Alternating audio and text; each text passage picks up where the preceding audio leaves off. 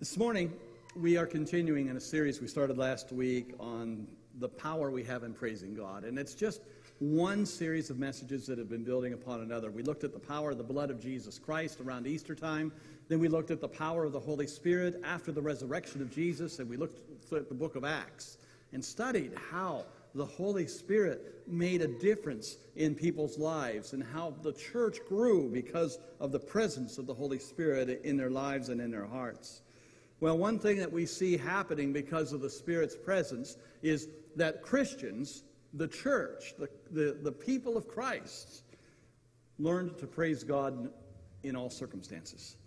And they learned the power of praising God. And so this morning, I want to address the subject of the fact that we need to bless God. We're going to be in Psalms, in Psalm 103. So you might want to turn to that, and I'll be referring to it throughout the message. Psalm 103. Now, I want you to understand that quite often we ask for God to bless us, don't we? Or, we pray, God bless you. Or we sing a song, God bless America. But how often do we turn to God and say, God, how can I bless you? instead of always being interested in how you are blessing me. Let's bless God. Let's give him the praise that he deserves. This is the second in our series, Power in Praising God. Now, some people habitually, which means all the time, talk to themselves. You ever run into someone like that? Maybe some of us are guilty of doing that here. I've got a couple of, of, of uh, cartoons that I happened upon in the last week or so that really confirm the idea of people talking to themselves. The first cartoon I saw showed a man who was walking down a busy city street, and he was just one of many people holding their cell phones to their ears. But as we listen to this man's conversation, he's happily proclaiming, he says, This is great. This way I can go block after block talking to myself and no one looks at me like I'm crazy. Another cartoon showed a person who was speaking to his counselor. And he said, Talking to myself was okay. Even answering myself was all right. But now I'm even interrupting myself. And then there was a third cartoon that showed a boss who was sitting at his desk looking on to uh, an unhappy employee who was filing papers. And the boss says, You may call what you're doing motivational self talk. I call it muttering under your breath. You know, sometimes we do talk to ourselves, and, and it's not all bad when we do. And in fact, there's an entire psalm where David talked to himself, where David was telling everything within his own body and within his own life to do one thing, and that was to praise the Lord. Psalm 103, the first verse Praise the Lord, O my soul, all my inmost being, praise his holy name. And then he goes on to describe how he was to praise the Lord. We need to listen to King David as he did it. Bless the Lord, or praise the Lord, O my soul. All that is within me, praise his holy name. Psalm 103 is a pure song of praise. Now, there's not a single complaint in Psalm 103. There's not a single request in Psalm 103. And if you look at all the different Psalms, you find quite often they're filled with anguishing questions. They're filled with requests and pleas to God for help. But, there's, but instead of complaints and instead of requests, Psalm 103 has a joy that builds to a command. We see David is saying, anything with life, anything with breath needs to praise and bless God. You know, to excite and to inspire godliness in the hearts of others, we have to first stir up godliness in ourselves. If you are a salesperson and you want to be successful in your sales, you've got to be convinced of your product. You've got to use it. You've got to swear by it. You've got to say, this is the best thing since sliced bread. Kalita brought some banana bread in this morning, and I looked at it. I says, that's not sliced. And she turned it sideways. Oh, yes, it is. It's sliced. Sliced bread is always better than one chunk, one loaf. And we're convinced of that. We think it's a great idea. We take it for granted because everyone slices bread, or it's sliced at the store, or it's sliced at the bakery. But think of the times when people just had to tear off a chunk, and that's the only way they could eat that loaf of bread. We need to be excited about the product. And the product we are excited about, the product we praise God for, is our salvation through Jesus Christ. We need to stir that godliness up in our own lives. And so, this is what Psalm 103 tells us to do. Psalm 103 tells us it's our obligation to bless God. Not to say, God, will you bless me? God, will you bless my family? God, will you bless my friends? God, will you bless the sick? God, will you bless my country? No. God, how can I bless you? How can I offer you praise? Let's first of all understand that praise begins within. Within.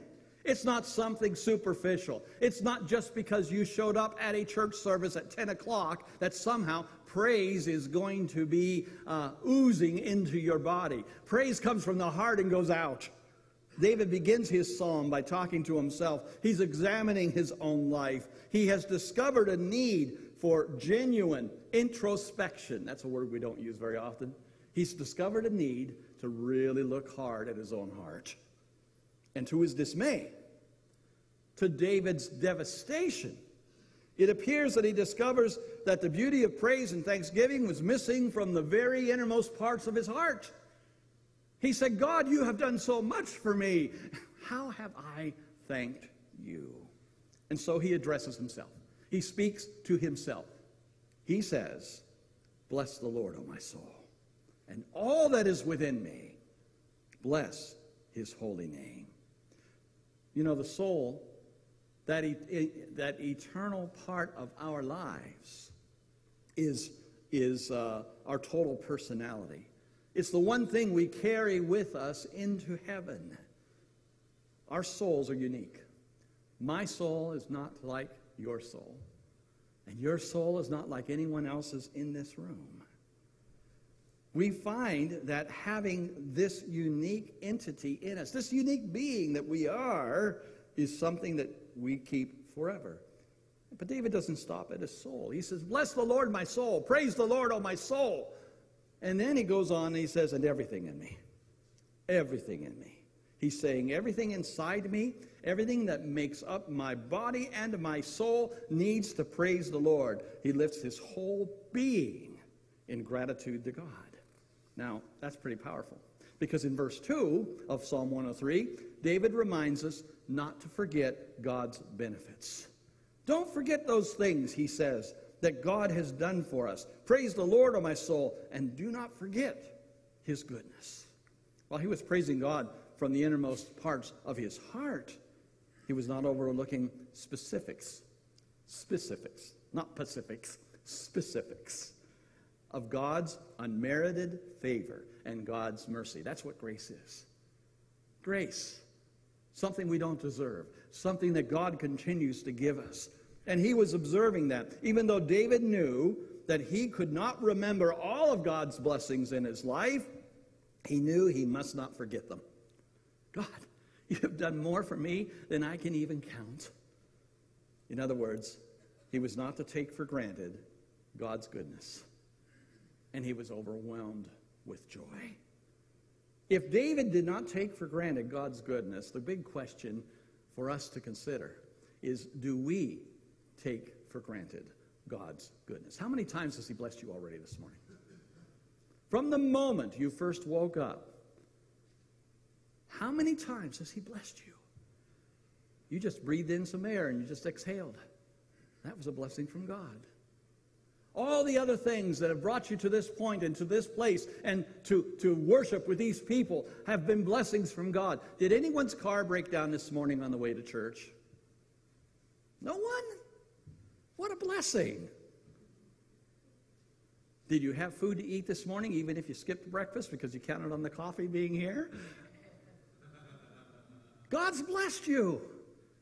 And we need to realize the, the, the, the, mundane, the ordinary, the simple things that He blesses the entire world with, He blesses us with. But on top of that, he gives us a reason to rejoice and a reason to thank him for that. So let's understand praise begins within. Secondly, praise comes from every aspect of our lives. I want you to look at me verse by verse at Psalm 103. We need to praise God because he pardons our sins. That's what verse 3 says. We offer him praise. We give him blessings because he forgives all your sins and heals all your diseases. We need to praise God because he is that great physician who heals us. Not only our physical healing that we need, but he heals us emotionally and spiritually.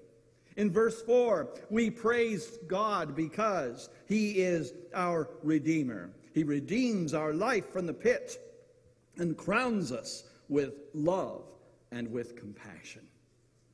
We need to praise Him because He is our benefactor. Now, that's, a, that's another big word we don't use very often. But basically, He looks out for us and takes care of us. He watches over our needs and makes sure that, that what we need is met. Verse 5 says, You have satisfied our desires with good things, so that your youth is renewed like an eagle's. Does that sound familiar? How many know by heart Isaiah 40? Those who wait upon the Lord will what? They will renew their strength and they will do what? They will fly on wings like eagles. Here's David saying the same thing. God, you have been so good to us. You have given us so much. You satisfy us in such a way that we can't even express. Skipping down, to, or going to verse 6, we have to praise him because he is our judge.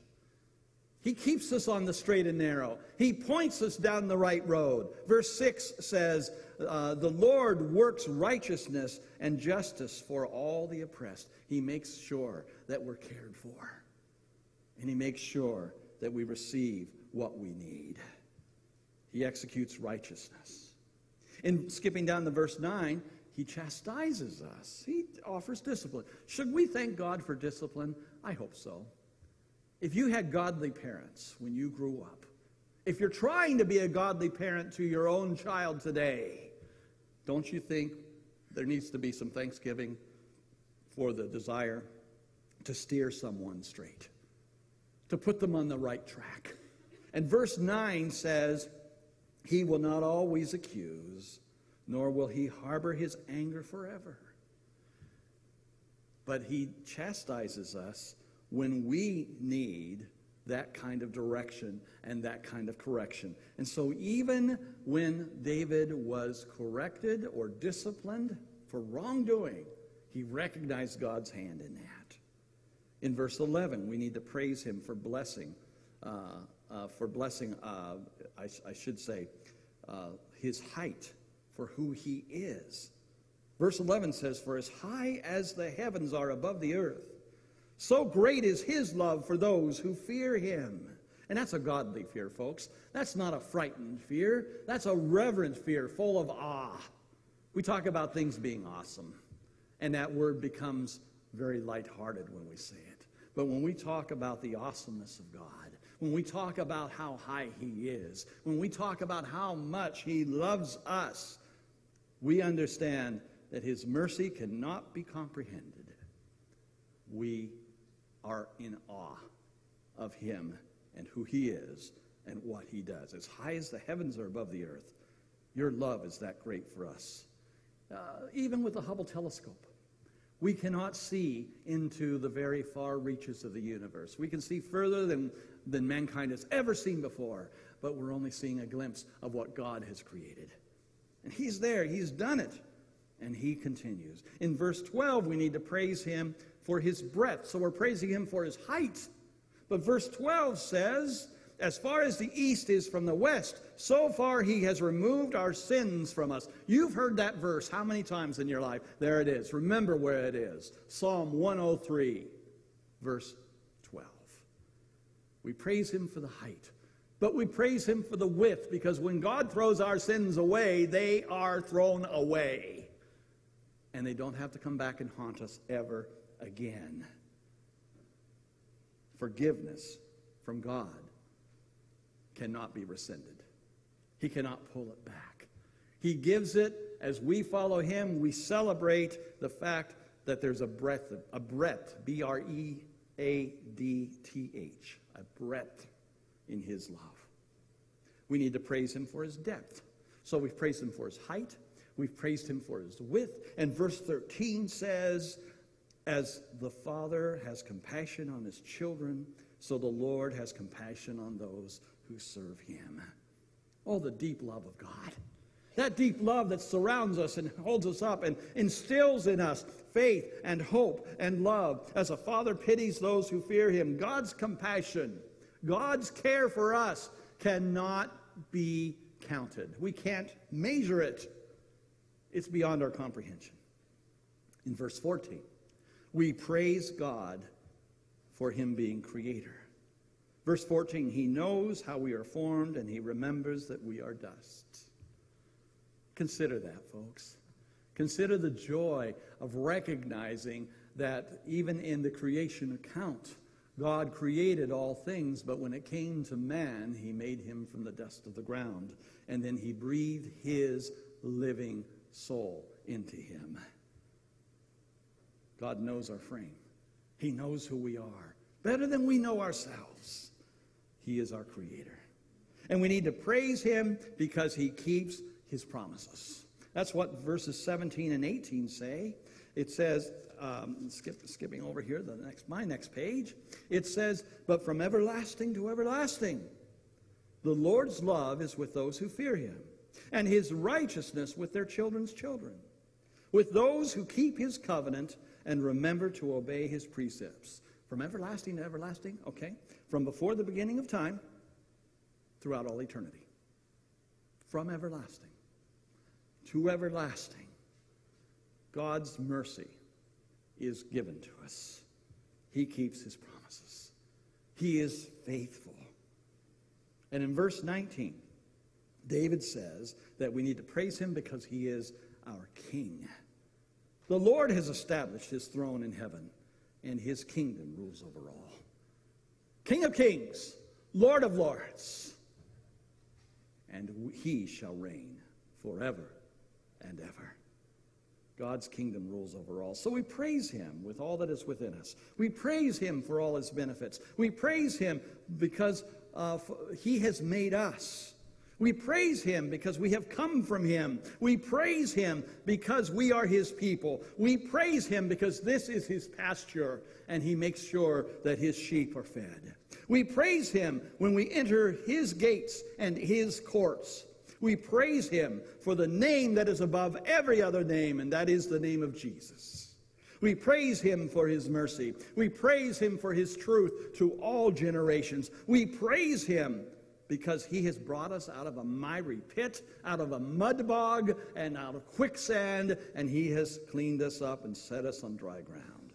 We praise him because it is by his grace that we are saved. We praise him because he sent his son to die for our sins and to give us the tree of life that we can eat forever. We praise him because we got up this morning.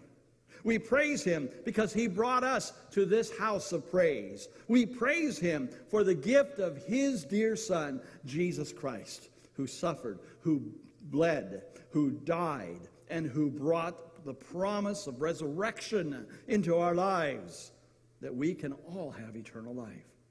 So, no matter what's going on, no matter how difficult your day might seem, there is no reason to say, I cannot praise God. There is no reason to say, I have nothing to hope for. God is the one who opens the door. God is the one that allows us to enter his presence. Do you remember the story of Job, who was afflicted by the devil? and in his affliction, he had a skin disease that was causing horrible, horrible sores. And the only relief Job could have from those sores back in those early uh, cannibalistic almost medical days was for him to take a section of pottery, a broken pot, scrape the sores off of his body, take some ashes, and put in the wound. That's horrible. But even as Job was doing that, he was saying this Naked came I into the world, and naked I shall leave it. The Lord gives, and the Lord takes away. Blessed be the name of the Lord. Even in the worst of situations, we can praise God in every aspect of our lives. Finally, we need to understand that praise possesses some very unique qualities. Today, if you find something to praise God for, will you do it? Or will you take it for granted? In the book of Psalms, in this one book in the Old Testament, there are many words of encouragement. And this one book of the Old Testament contains over 43,000 words. It contains 2,027 verses of history. It contains 164 questions that are asked and answered. We're not left hanging. The book of Psalms contains 413 commands given by God. The book of Psalms relays and reminds us of 338 different acts of God. This book has 124 righteous and devout vows made to God. There are 174 statements of praise. Now, in the book of Psalms, there are 118 complaints. You know, God's big enough to let us complain. But all the complaints in the book of Psalms also list a remedy, a solution. God does not leave us hanging. There are 865 facts about who God is. There are 235 statements about God's Word and how precious the Bible is. There are 182 different testimonies of how God had worked in people's lives. There are 97 promises that God will always keep. And there are 128 facts about the coming of the Messiah, who we know as Jesus Christ. Now, above all things, above all things, we need to praise God. Why? Because we were created to praise God. What should praise mean to a child of God? If we were born into that family and then purchased by the blood of Jesus and adopted into that family, what does praise mean to those of us who belong to Jesus? It means that praise is the very lifeblood of the saints, it's what courses through our veins. Praise is the experience of being in tune with God. If we are out of touch with God, if we are out of a relationship with God, we probably are not praising Him. But if we are in tune with Him, oh, the joy. We're doing what we were intended and made to do. Praise brings us closer to tearing down a barrier that we often surround ourselves with that we call selfishness. Because praise builds a fellowship with God. Our life is not just about us and what we want and where we want to go and how we want to grow and what we want to achieve and how much money we want to make and who we want to marry and on and on and on. It's not about us individually, it's about our relationship, walking, talking, living, breathing with God. Now, we've taught our kids a little tune, a little Sunday school tune that says, The blessings come down when the prayers go up. And I bet a lot of you are remembering that tune. But our praise creates a spirituality that is charged with intimacy. Our prayers go up, and God says, I'm, I'm here, I hear you, I'm your father, I'm your daddy, your Abba, and I'm going to take care of you. Let's just do this together. And that's what we do. That's what we do. Praise will change our attitudes, and God will get the glory. Praise will drive out demonic forces that otherwise would destroy us. Praise brings a church into one accord, and that's not a Honda, by the way. I wanted to see if you were listening. Praise brings a church into unity and gives us thanksgiving and joy. Our praise brings us into the light of God's presence without any delay. When we start praising God, God says, I'm here. I'm with you. I'm, I, I will be your helper. I will help you figure this out and sort it out. When we lift our praise to Him and our minds are stayed upon Him, focused on Him, there's something about that that lifts our hopes and gives us joy and peace. Our praise to God provides substance to any hope that we have. Because we look to the hills from which comes our help. Sometimes our help isn't here. It's not, it doesn't seem to be present, but we believe. And God is coming. And He will fill us where we have those voids and those empty spots. Now, some Christians find it difficult to think about the privilege of prayer without doing so in terms of asking for something or complaining to God about some life threatening situation or some circumstance that they're in. And of course, the Bible is clear that we need to lay our needs before God. In fact, the Bible encourages us to lay our needs before God. We're exhorted to do that in so many places. But we see James even saying, You have not because you ask not. So there's nothing wrong with petitioning God. There's nothing wrong with bringing him our burdens. We see that through the book of, of, of Psalms as well.